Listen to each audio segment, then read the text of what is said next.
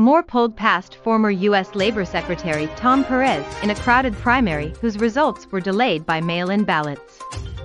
He faces Delegate Dan Cox, R, this fall.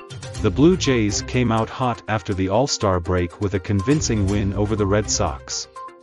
Here are some numbers behind their outstanding night.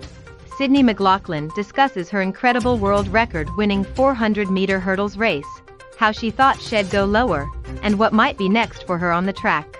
Check out the John Wick, Chapter 4 Comic Con trailer starring Keanu Reeves. IGN John Wick. Cases of infant and toddler unrelated and likely from household transmission, say health authorities. The football coach was fired in January 2021 after three seasons with the Volunteers.